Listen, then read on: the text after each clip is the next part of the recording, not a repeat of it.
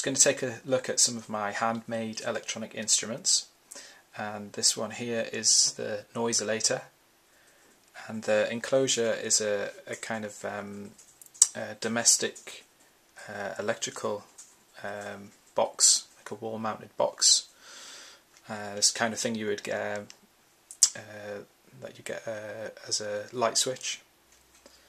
And it's just got some touch contacts on there potentiometer, power switch and the audio output. Uh, we'll just have a quick listen to this. I'm just going to plug it in and I'm just going to record this on the computer and it creates like uh, high pitch squeals and um, oscillations and, and, and, kind of noisy noise. Um, yeah, I just, here we go.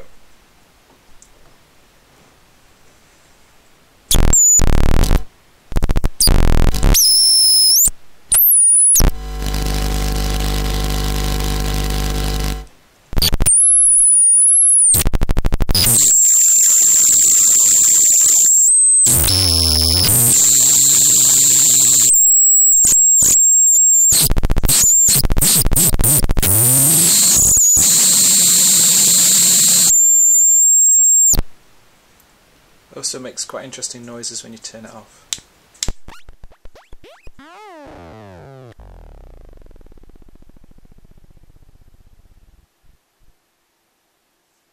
Okay, so that was the Noiseillator.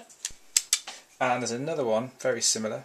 Oh, before I move on, uh, inside of this is um, is a buffer amplifier, the Picoblok buffer amplifier, which is uh, one of the circuit designs that we have uh, on our website and it's also available for sale as well.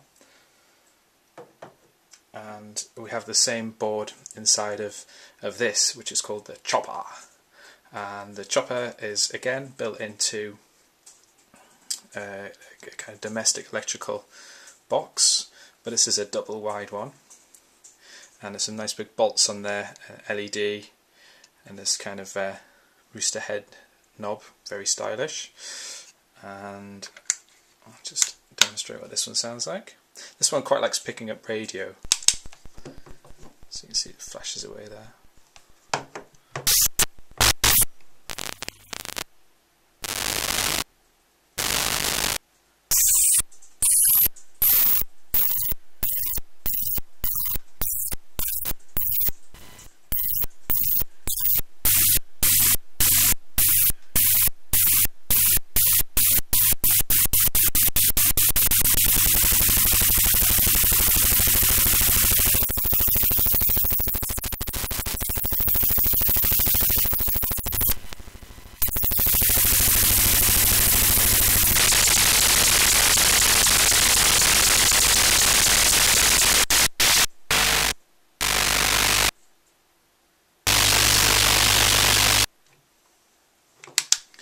So uh, again, that's just the Picoblok inside, the buffer amp, and I'm using uh, a 555 timer as a kind of a square wave gate to chop the, uh, the audio on and off. And the next one that I want to show you is something made by Cat Patterson. And this is called the Drome. And this is a nice uh, stainless steel biscuit tin and it has eight pots on top, four for pitch and four for amplitude. And the inside of here is uh, four triangle wave oscillators and you can mix them together so it's kind of like a an additive synthesizer. And this sounds like this. Um,